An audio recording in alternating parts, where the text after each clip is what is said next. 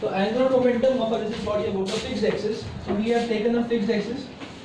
Okay, and uh, suppose this is a rigid body which is rotating about it with omega. Okay, angular momentum omega. This is the axis of rotation. So if we take a particle having a mass m1 and its distance from the axis is the perpendicular distance and this particle is moving in a circular path and its tangential speed is v1 its tangential speed is v1 then the r vector this is the r vector this is the r vector because r vector axis से away point की तरफ this is r vector and this is v vector so r vector is radial and v vector is tangential So this is something like this this is r vector and v vector radial and tangential so the angle will be the angle is going to be 90 degree okay the angle is going to be 90 degree ठीक है ना तो समझ में आ रहा है तो when you want to find the angular momentum of this particle m1 तो क्या होगा the angular momentum of the first particle right? What is l1 it is the angular momentum of first particle.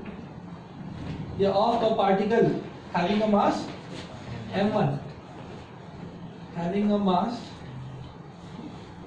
m1 so what will be the angular momentum? This will be r1 cross p1 because r cross p. So what is the radius for the first particle. R1 what is the angular momentum? Linear momentum of the first particle p1 so it will be r1 cross p1 now what will be its magnitude? So its magnitude will be r1 because r perpendicular p. So r perpendicular p. Now what is r perpendicular? That is r1 hmm. right?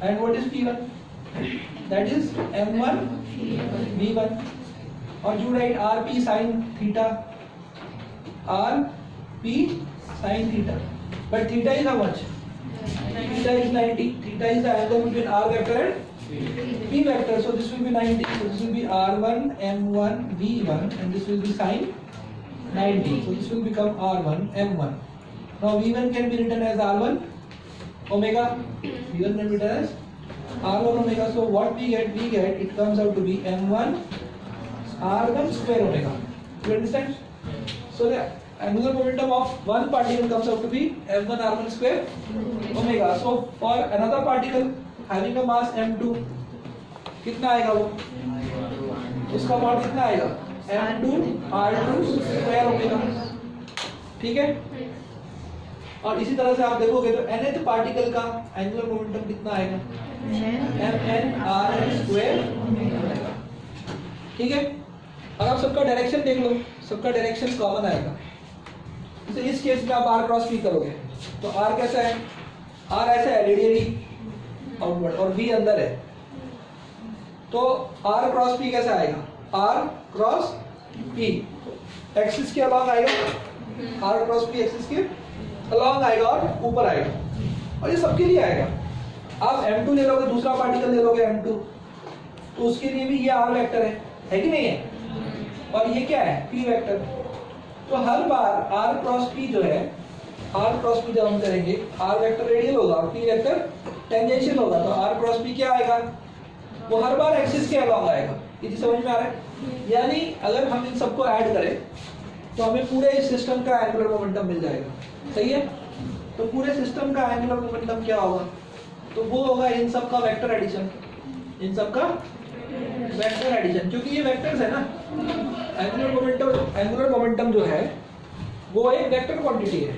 Angular momentum is a vector quantity तो आपको vector sum करना होगा. Total angular momentum निकालना है तो. और ये सब सिंपली ऐड हो जाएँगे. क्यों? क्योंकि सबका डायरेक्शन एक ही है.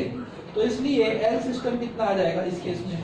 वो आ जाएगा m1 r1 square omega m2 r2 square omega n plus mn R N square omega तो आप ओमेगा कॉमन ले लो अंदर क्या बचेगा? Summation I equal to one to M I R I square बचेगा। अब आपको पता है कि ये जो क्वांटिटी है समेशन है ना? I equal to 1 to n, m i r i square, this is moment of inertia, so this comes out to be i omega so for a rigid body the angular momentum of a system comes out to be i omega. The vector form I have written this i omega. ऐसा क्यों? क्योंकि अगर कोई object ऐसे घूम रहा है हाँ ऐसा उसका रोटेशन है ओमेगा उसका एंगुलर मोमेंटम किधर होगा? ओमेगा की डायरेक्शन यानी जो ओमेगा का डायरेक्शन है। ऐसे घूम रहा है तो ये इस वक्त ओमेगा डायरेक्शन कैसा है? एंटी क्लॉकवाइज तो अंगूठा थंब कहाँ जाएगा? थंब विल गो अपवर्ड्स उसी डायरेक्शन में एंगुलर मोमेंटम भी है। तो एंगुलर मोमेंटम जो है वो एक्सिस के अलावा किधर है? ऊपर। अगर कोई ऐसे घूम रहा होगा, उल्टा, यानी क्लॉकवाइज ठीक है? तो उसके लिए क्या होगा? तो उसके लिए एंगुलर मोमेंटम होगा नीचे। तो क्लॉकवाइज तो वैसे लेंगे आप फिंगर्स को टर्न करेंगे थंब कहाँ जा रहा है? थंब नीचे जा रहा है, इसका मतलब एंगुलर मोमेंटम किधर है? नीचे अलोंग द एक्सिस नीचे। वही चीज़ यहाँ से भी आया था आर क्रॉस पी करके भी। आर आर वेक्टर कहाँ था? आर वेक्टर ऐसा है और पी वेक्टर ऐसा है। तो इस केस में आर क्रॉस पी कहाँ जा रहा है? ऊपर।